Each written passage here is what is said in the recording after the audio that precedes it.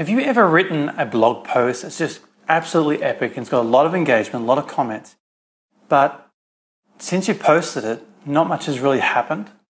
Well, in this video, I'm going to show you how you can repurpose that same blog post into awesome video content so that you can rebirth that content and make it go again.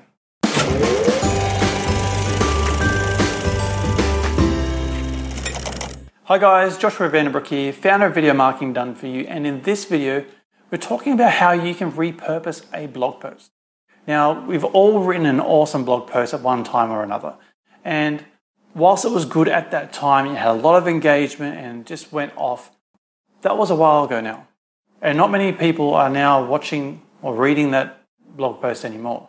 So, why should we let that blog post die that short death and leave it to where it was posted? Why don't we reinvigorate it by turning it into a video where different viewers can engage with it and get that same benefit of all that valuable content that you put into the original blog post. Now, there's a couple of different ways that you can do this, but the easiest way to do this is to actually narrate it.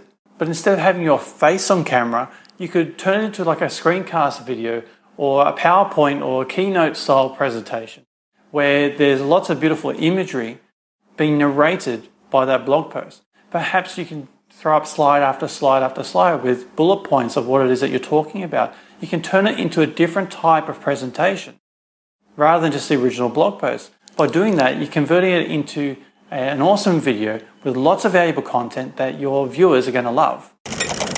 Another way that you can do it is you can take key points out of that blog post for you to talk face to camera like I am right now. You know the key elements that are important to that blog post. You can dig deeper on those key points. And using the benefit of all those comments that have been had before, you can go even further by addressing different points that you may not have considered when you first wrote it. So there's two quick ways that you can reinvigorate and reincarnate your existing blog post that's done well in the past and turn it into a video that's going to provide awesome value to your audience. Did you like this video? Well, if you did, please subscribe to our YouTube channel where you receive notifications of when these videos go live. And whilst you're at it, check out some of the other videos and let us know what you thought by leaving a comment.